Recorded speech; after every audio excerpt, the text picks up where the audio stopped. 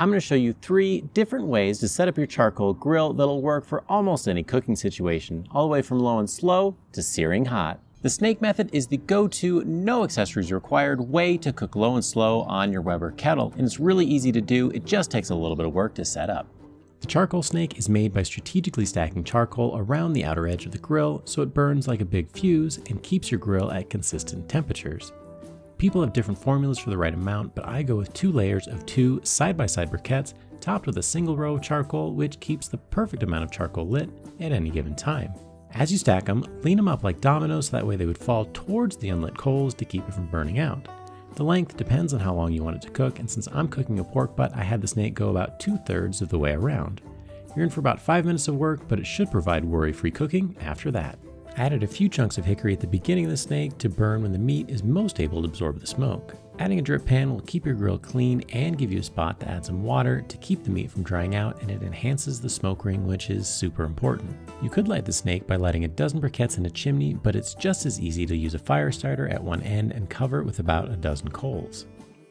Light the starter but it isn't time to put your food on just yet.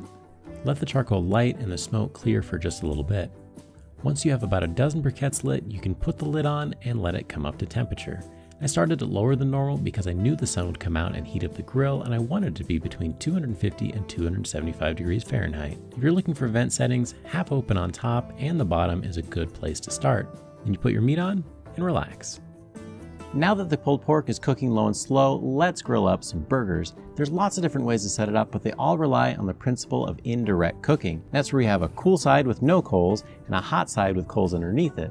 That makes it so that way if things get too hot or out of control, you can put it over on the cool side until things calm down and you avoid burning dinner. This method works really well for roasting things like whole chicken or pork loins or direct grilling, burgers, and chicken thighs. It can work for steak, but you gotta do a couple of tricks that I'll show you. For burgers, I'll start off with a half a chimney of charcoal and spread it out in an even layer in the kettle. If you stack the coals higher, you're going to have more heat but less cooking area. A single layer is usually enough to direct grill burgers, but you're going to need twice as much for steak. One big benefit is the fat and juices fall down on the coals, burn up, and add to the grilled flavor of the meat. And when it comes to burgers, a big benefit is that you can put the burger on the cool side, let the cheese melt without overcooking the meat, and you can remove it at just the perfect moment. Direct grilling is great, but sometimes you need more power. Did you know that the heat from a fire is inversely proportional to the square of the distance away from it? Let me say that in a different way. The closer you are to the fire, the hotter it'll be. And if you cut the distance in half, you'll end up getting four times the searing power. And that's huge when you're trying to get a steakhouse quality crust on your steak. This is an accessory free method for searing a steak, and all you need is a couple of logs, and you probably have these lying around anyway because of all the smoking that you're doing. The logs act kind of like a basket and hold the charcoal back, which raises it up higher to the grate, so you get an amazing sear. Three quarters of a chimney of lit charcoal is usually enough, but you can move the logs around a little bit have more or less space depending on what you're cooking that day. If you're using this method, wait to put your grill grates on until you're ready to cook. The grates can get really hot and instantly burn your meat, and you want to have an even crust all the way around.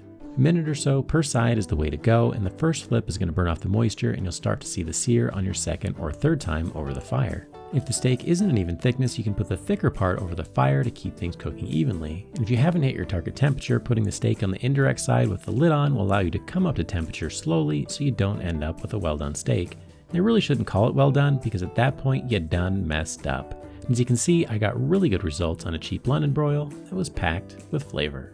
And there is one really important cooking method that I didn't talk about, and that's how to grill pizza. And you're going to want to check out this video where I dial in exactly how to do it on your Weber kettle.